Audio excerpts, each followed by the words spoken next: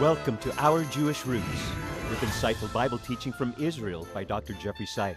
This week, a mutiny in the palace leads to the king of Israel, who was the worst of the worst. Coming up on Kings and Kingdoms.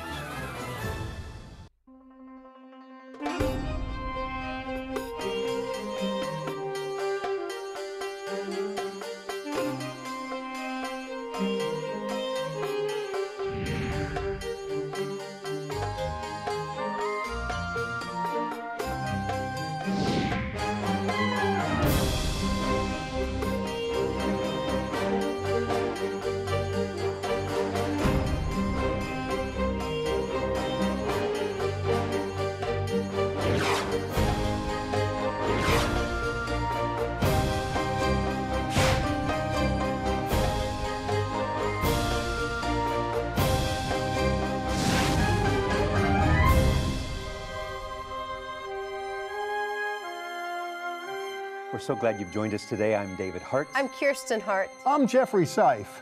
And I'm aware most people watch TV, they want to get their mind off their problems. We'll do it today by looking at somebody else's. this world is a mess. It is, but our world is a mess too. Yes, we're going to look at political intrigue and really bad characters. And we have political intrigue and bad characters. There's nothing new under the sun, is it's in there? the book. It's right there. See what we can learn. Right. Professor Seif is in Israel right now teaching. Let's go there now.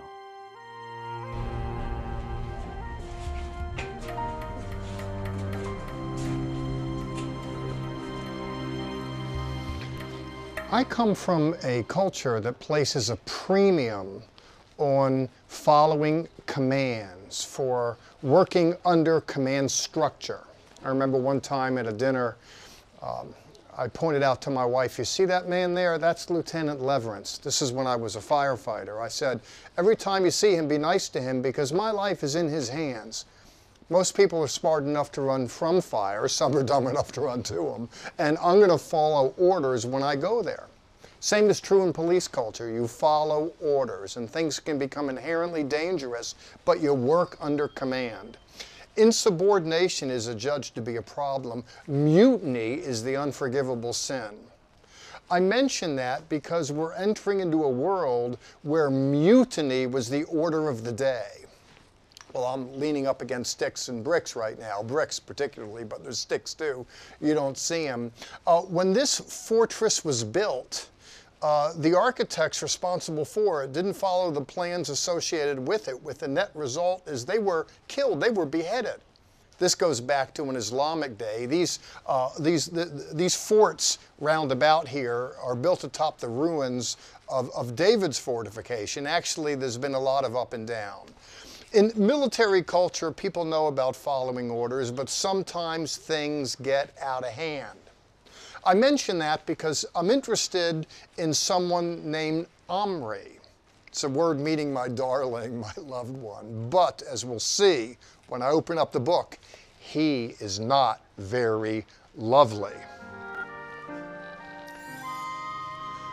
Omri is a little known personality. There's not much said about him when you look in biblical literature, he's the, uh, the progenitor of the horrible, that is to say, Israel's, the northern kingdom's most infamous king comes from him, Ahab, and people know the story of Ahab and Jezebel. Here I want to look and see how the apple of Ahab didn't fall far from the tree of Omri, my beloved, who wasn't very lovely. We see in uh, 1 Kings chapter 16 that he came to power through mutiny. He, he seized an opportunity. I think there's something within the males of the species. Part of it's testosterone driven. We're competitive, we can be assertive. I get that. You add a sinful nature to that, what Hebrews call uh, lashon hara, the evil inclination. And this drive for success can get out of hand in reasonably short order. Uh, the author of James in the Newer Testament says, What causes wars among you? It's passions that are at war in your members, and they propel people forward in not a very good way. Well, we're told here in the 16th chapter of 1 Kings that Omri seized a moment. In verse 16, Arva Yamlechu Kol Yisrael et Omri. And all Israel made Omri, described then as uh, Sar Tzava al Israel, who was captain of the host. That is, he's a military leader. He's not a king. But he's not content just to be a military leader, to be a captain. No, that he seizes an opportunity and he usurps. It says that it was then Sar Tzava al Yisrael bayom hahu b'machaneh that they uh, they made him king then over all of Israel. Short story, short reign. There's political intrigue then. They make him king in the, in the military camp. Someone else contends for it. They fight. Someone dies. He has hold of power. It underscores for my money how precarious it is when people seize power. And I think of it in antiquity here, they fought for it. It's with, with, with, with knives and spears. Today, happily, when there's a power vacuum, an election comes up, people fight with words. Sometimes the words are very dastardly, uh, but uh, better with words than swords. Here at the end of the day, they seize it and they do bad things with it. I mention that because when we read on in verse 25, once in power, uh, the author tells us, Vaya'aseh Omri hara Adonai. And we hear this over and again that Omri did evil in the eyes of the Lord. Uh, lefonov. And that he dealt wickedly, that he was just a tragedy, that he did evil in the sight of the Lord and dealt wickedly above all. He was a bad actor. I mention that the term because when I, when I speak of an actor, or a bad actor. I'm not talking about movies. Actually, in police culture, someone who breaks the law is referred to as a bad actor. And the reason why it is in police culture, and I have that as another life, by the way, another world, uh, arrests aren't made on the basis of thoughts. People can think whatever they want basically say whatever they want. It's actions that are problematic. And the way this man came to power, the actions associated with it were problematic. And what he does in power is problematic. I mention that because as we look around and we see how people jockey for position, they're looking for power, I want you to be thinking about those that are more noble at the end of the day. Uh, that uh, people can be deceitful with the words, they can be manipulative, people can be stealthy, and that's how Omri came to power. Uh, it's unacceptable to my way of thinking, and uh, one would expect better from biblical people in the, in the biblical drama. But interestingly, the Bible gives voice to the fact how people come to power in all the wrong ways. You get all the wrong people coming to power in all the wrong ways, and the effects are devastating said all that to say this when you have opportunity and we have it all the time as in our democracy the world cycles and people go to the ballot box and they vote for a leader not with a sword but with a lever. I want you to be looking for people whom you construe to be the more noble to be the more virtuous I want you similarly to look for people that seem to reflect biblical faith and virtue. I say it over and again, but it's an important it's a story that's told over and again as we go into the annals of biblical literature and we explore the story of kings and kingdoms. Let's take pains to ensure that we get the right kind of leaders in the right kind of place.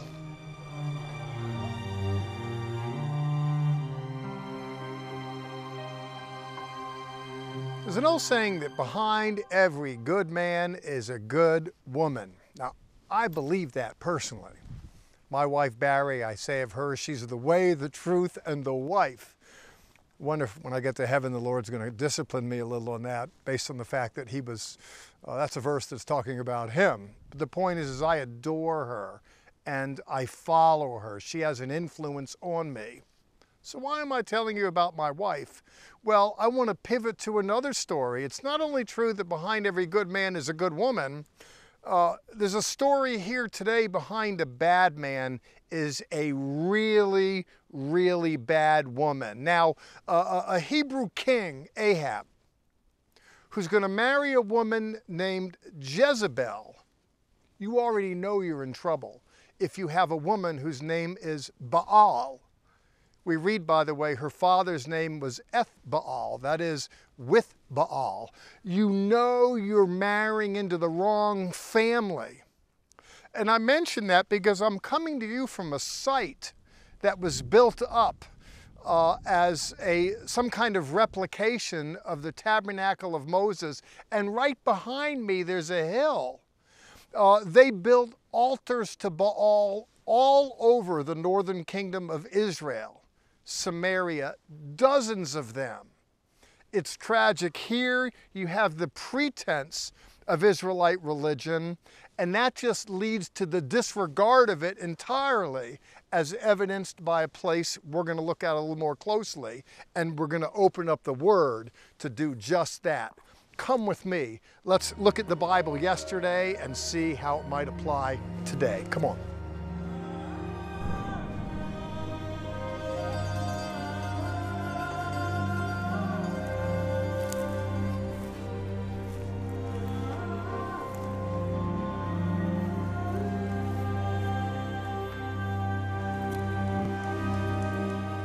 There's something rather tasteless about talking about a guy's wife. I get that. But I'm not saying anything that the Bible doesn't say, and more to tell you the truth.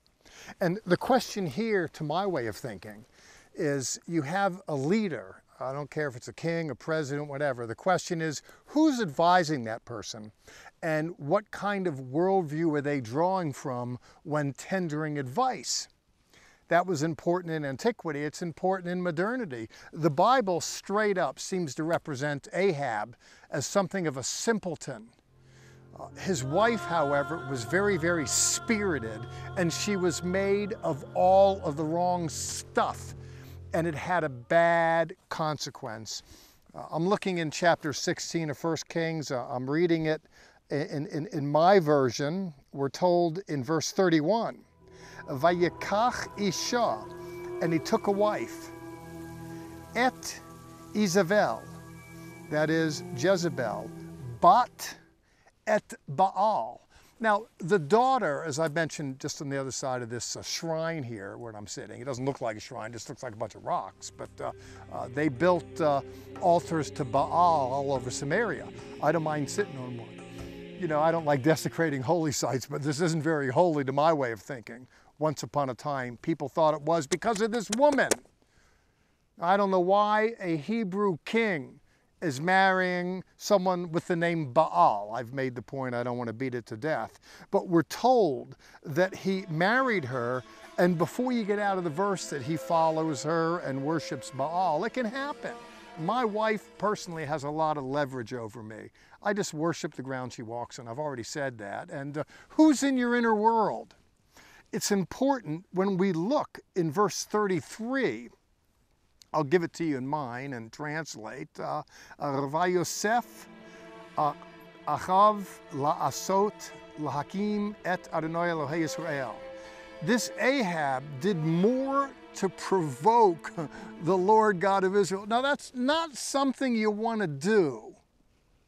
I wonder, by the way, personally, to what extent God is provoked by executive decisions that have made in judicial and executive and congressional branches in the United States of America. I think uh, when, when, I look over history, I think this, there's things that are odious, personally. Well, here, never mind today, yesterday, we're told that this man, influenced as he was by that woman, did more to provoke the Lord, the God of Israel, Mikol Malkei Israel Asher Hoyu Lifonov, then all the kings of Israel that were before him. In other words, the worst of the worst of the worst, and it was plenty bad before he got there. I mention that because when I think of business in my own country, I, I, I think there's been plenty done that provokes the God of Israel. I'm looking for a turnaround. I'm looking for change and um, I, am not don't construe that as a dissatisfaction.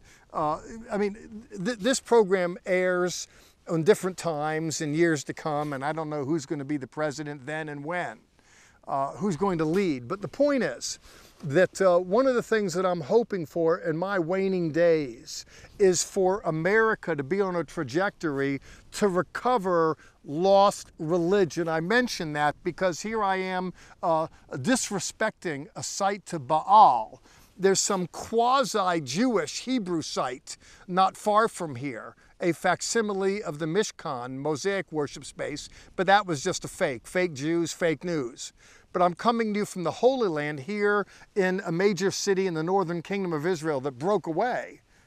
Uh, I'm interested in what's over yonder hill, Jerusalem. I want to see people turn back to the God of Abraham, Yitzchak, and Yaakov, Abraham, Isaac, and Jacob. And I believe, by the way, that Yeshua HaMashiach, Jesus the Messiah, is the principal turnaround agent with the net result, as a result of experiencing Him, people can get good government in their own head. It can affect their own lives. They can utilize that influence to be life in the world and light in the world and change the world. Let it be so. Our resource this week the Grafted In Necklace. Wearing this lovely sterling silver rendition of a classic messianic symbol shows you recognize the Jewish roots of your Christian faith and stirs curiosities and witness opportunities with this tribute to light, the Lord, and abundant love. For this resource and more, call 1 800 Wonders or visit us at levitt.com. If you only watch us on television, you are missing additional content available only on our social media sites Facebook, YouTube, and Twitter. You can always visit our website, which is home base for all of our ministry activities and information. There you can sign up for our free monthly newsletter, watch the TV program, or visit the online store. You can sign up for a tour of Israel and Petra or a cruise to Greece and Ephesus please contact us for more information. I am not ashamed to admit this. I love social media. It's true. I do. And, and the reason is because it connects us with so many people across the world. And that's what we want to do through our social media sites here on Our Jewish Roots is connect with you. And right now I want to connect with you and say a special thank you for keeping us on the air and keeping this ministry going. It's all because of our viewers and donations sent to this ministry. We take the good news around the world because of you. Thank you. Thank you so much. God deserves your praise, He deserves our praise. Our Hebrew lesson today is all about praise and worship. Let's go to Sarah Lieberman now.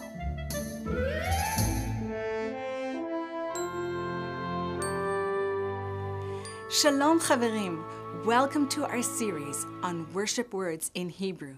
I am so excited as a worship leader to be able to show you the beauty of the Hebrew language when it comes to this word praise. Because so many times in our Bible, in English, when it says the word praise, in Hebrew there's an entirely different word. Today's word is the word levarech, which comes from the root word bracha, which means blessing. Now, you might find that interesting when worship comes into play with the word blessing. But if you look at the book of Job, Job says this incredible statement. He says, God has given, God has taken away. Let the name of the Lord be praised. Well, in Hebrew, it actually says, Let the name of the Lord be blessed. You see, blessing the Lord is something that we do that blesses his heart. It's willingly offering ourselves to the Lord in any and every situation, no matter what is going on. The word blessing in Hebrew comes from the root of ni, which also implies kneeling down before the Lord in reverence, in thanksgiving, in surrender. So when we say this, bless the Lord, O my soul, and all that is within me, bless his holy name, that word again is barchi, levarech. I kneel down before the Lord. I worship you. I bless you, Lord. I want to bless your heart. with me every day, and I dwell in the house of my Lord forevermore.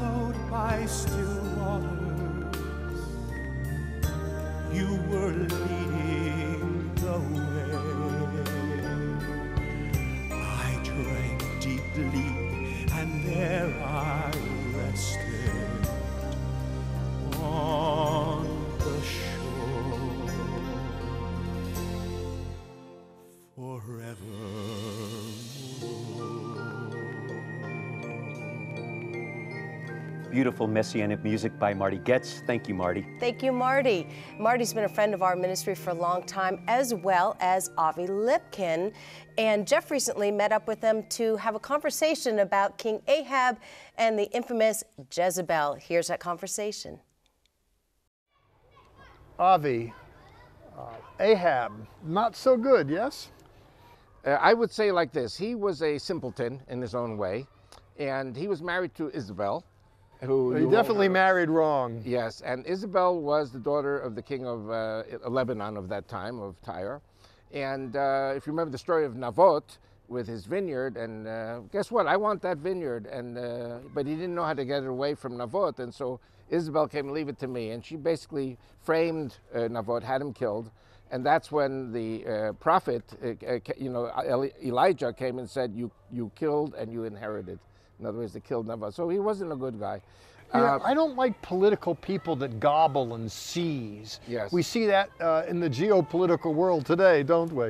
V- Very correct. And the Bible is so valid for us today because it teaches us things that were happening in the human world uh, thousands of years ago and are happening today also. The Bible is very alive. It's not something uh, mythical. It's something that really happened. Yes, the, that acquisitive nature, that vile cruelty, uh, pillaging and plundering, it exists in modernity just like antiquity. A very important point in the contest between Elijah the prophet and the 450 priests of Baal, he let them go first. And he said, if, if God doesn't take your offering, then I'll do mine. And of course, God took Elijah's offering. The 450 priests of Baal were executed, they were beheaded. And so uh, the, this teaches us the, the high priests of Baal, of Baal, uh, when they were enchanting uh, Baal to come and take their offering, and he didn't, they started cutting their foreheads with knives and bleeding. And this is the origin of the Ashura uh, self mutilation uh, uh, ceremony of the Shiites. It- so the Shiite Islam has a, this ceremony going all the way back to the pagans of Lebanon. Fascinating story. A little scary, scary too, yes? Uh, indeed, uh, like I said before, the Bible shares things which on the surface you would think, oh, that happened 3,000 years ago. No, this happened today. We're looking at kings and kingdoms. Right. And we're seeing uh, uh, yesterday manifest today. What a great point. Good closing point. Last word's yours. Uh, we are now uh, living in a time in which our opponents uh, are, are, I don't want to say our enemies. I hate to use the word enemies because, you know, we are supposed to love our enemies. But our enemies follow the same evil course as the enemies who were destroyed by God 3,000 years ago. And God has the victory. So we have this divided kingdom. It's like the North versus the South. And and is one better than the other? Yeah, we don't have any divisions in our kingdom today, of Not at course. It's just back then. Right. Now we're looking at these leaders, and I'm telling you, unimpressive. I got a scorecard here, and you're going to say see I'm a, that. You're going to say I'm a tough teacher. You're glad you didn't have me in college. From the beginning. Saul doesn't look gets so an good. F. I mean, I was just unimpressed by him from the get-go. I loved David at the start. I didn't like his finish. Uh, Solomon, uh, I liked him at the start a little, but then, oh my word! I mean, I just give them Yikes. D's, and I think I'm gracious for that. Maybe other professors there in the audience that are watching would be a little You're more right. I'm gracious. glad I wasn't in your class. But I'm a tough teacher. you are. Uh, Solomon's son Rehoboam was a worthless piece of human wreckage. I was F. very unimpressed. got an An F. He didn't even start off good. At least Wow. his father and grandfather started Right. off good. Jeroboam, I give him an F because he's the one that led uh, uh, the kingdom, uh, the northern tribes, into a rebellion. I mean, uh, Solomon's pathetic policies contributed to why there was fermenting discontent. Uh, Jeroboam was their spokesperson and leader, but it went from bad to worse under him. Omri, who follows Jeroboam, gets an F. he gets an F, but, and I studied Old Testament history, so did you in college. Yeah. I don't even remember his name. It's Well, like a non-name. There's Isn't not a lot crazy? said about him. What do you think of this guy, Ahab? Yeah, we know about Everyone remember him wife. because of his wife. His wife. Any any Hebrew king that marries a woman named Jezebel with Baal as part of her name, you know he's married into the wrong family. But we even now we talk about the people with the Jezebel spirit. I mean, Yes, her well- name goes down through history. Yeah, well, that's where that Jezebel spirit thing came from. And he was rather sheepish, you know, didn't have a lot of spine. Leaders, you know, have to be tough. You have to stand up.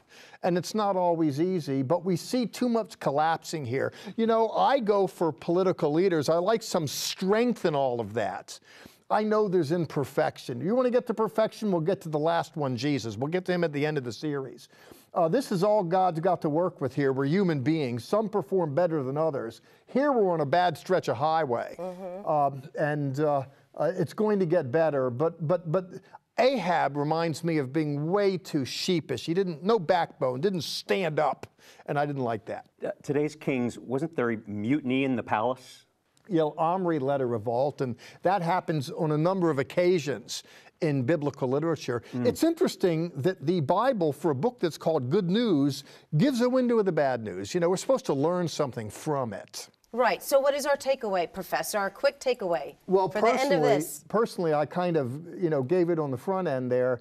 I'm looking for leaders. I don't expect perfection, but I, I need people to stand up to wickedness. And uh, Omri personified a kind of wickedness. Ahab seemed too sheepish in the face of it, thus he acquiesced to it. I want more backbone. That's good. Stand up.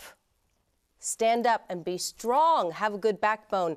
I think that's a good takeaway, but a good spiritual backbone. Yes, the Hebrew word is chazak.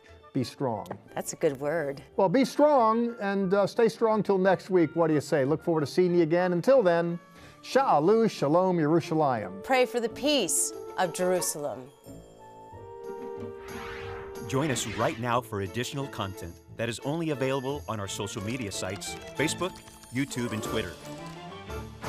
Visit our website, levitt.com, for the current and past programs, the television schedule, tour information, and our free monthly newsletter, which is full of insightful articles and news commentary. View it online, or we can ship it directly to your mailbox every month. Also, on our website is the online store. There, you can order this week's resource, or you can always give us a call at 1 800 WONDERS. Your donations to our Jewish roots help us to support these organizations as they bless Israel. Please remember we depend on tax deductible donations from viewers like you.